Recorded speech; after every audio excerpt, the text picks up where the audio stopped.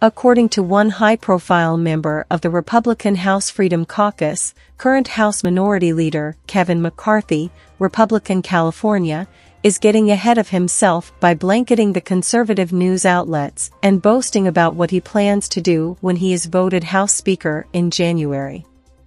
Speaking with MSNBC, Representative Andy Biggs, Republican Arizona, claimed that McCarthy, with an exceedingly slim GOP margin in the House predicted doesn't have the votes and is in denial. ASMSNBC's Kyle Stewart and Scott Wong wrote, McCarthy needs 218 votes to take possession of the Speaker's gavel from Representative Nancy Pelosi, Democrat California, but he is far from a lock for the job and it could require multiple ballots over weeks before a new Speaker is finally voted in. Writing McCarthy is in a precarious position, they added, in this game of chicken, if the conservatives don't blink and McCarthy refuses to back down, it could result in a chaotic floor fight with House members taking multiple votes for Speaker, something that has not happened in a century.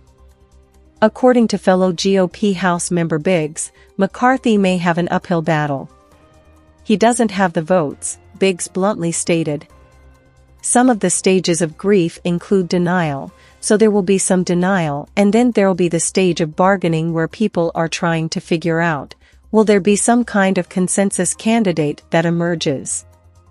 The report also notes that McCarthy is well aware of the battles former Speaker John Boehner, ROH, endured due to friction with the more conservative members of his caucus, with the MSNBC report noting, in September 2015, Boehner announced his resignation after a conservative rabble-rouser, Representative Mark Meadows, filed a motion to vacate the chair that would have forced yet another floor vote on the unpopular speaker.